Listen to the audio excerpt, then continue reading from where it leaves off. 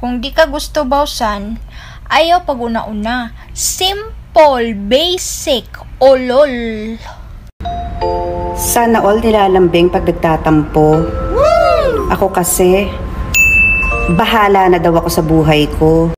Alam mo, kung gusto mong sumaya, huwag kang malungkot. Gitarong mansad ko. Gitarong og ilad. Hi ex, magpapasalamat na pala ako. Salamat sa pananakit mo. Mas naging matatag ako. Salamat din sa panluloko mo.